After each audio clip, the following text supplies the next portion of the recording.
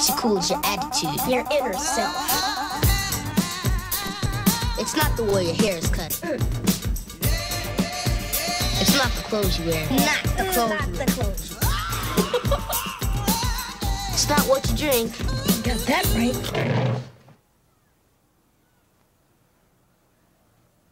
You got Pepsi for me? Who knew?